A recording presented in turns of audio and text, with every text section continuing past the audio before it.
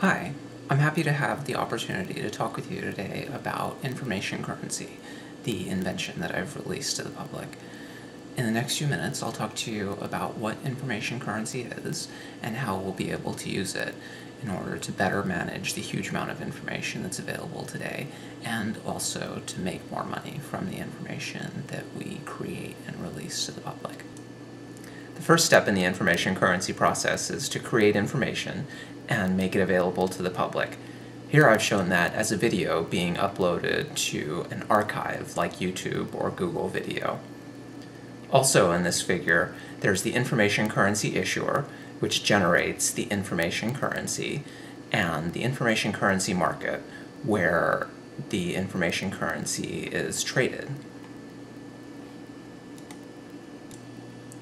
The next step is to create an issuance request describing your information and where it can be found, and sending that issuance request to the information currency issuer. The issuer sends in return a certain number of information currency units, here 16 information currency units, that are your digital property to trade as you wish. Now that you've made your information available to the public, the public starts to use it. The three downloaders in the diagram, each possessing four money units, are the specialists who want to identify important information and purchase the corresponding information currency units so that they can make a profit by reselling them. The first trade is two money units for one information currency unit corresponding to the downloaded information. Next, another information currency unit corresponding to the downloaded video is purchased for two money units through the information currency market.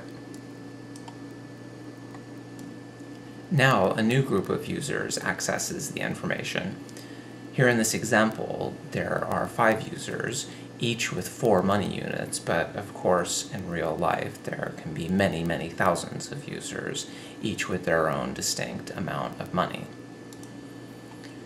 Now, one of the new users decides to purchase an information currency unit for three money units, creating a profit for one of the original buyers of one money unit.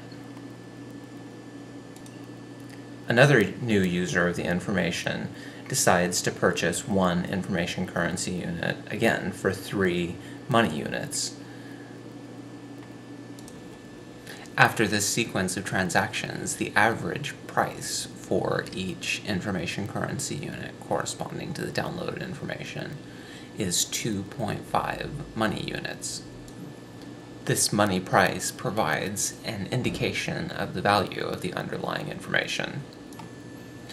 We can imagine a similar set of transactions leading to market prices for the information currency units corresponding to the information called here Video 2, Video 3, and Video 4. Video 2's information currency units are traded an average of 4.5 money units those of Video 3 at 1 money unit, and Video 4's information currency units at 1.5 money units. These prices will make it possible for the value of the separate units of information to be quickly estimated in a way that can benefit the participants in the market for their knowledge and effort.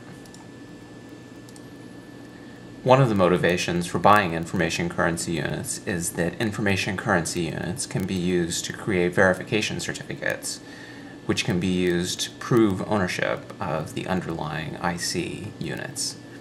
These verification certificates can be used to strengthen the relationship between buyers of information and creators of information by enabling buyers to prove that they have purchased the information currency units corresponding to the information that the creator has made available. Thanks for watching. I hope you'll visit my website and download the software that I've released. The website is at infoeng.sourceforge.net.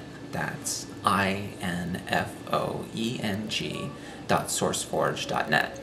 I'm looking for partners to help me develop the very exciting applications of information currency that are yet to come. If you have any interest, send me an email. Thanks again.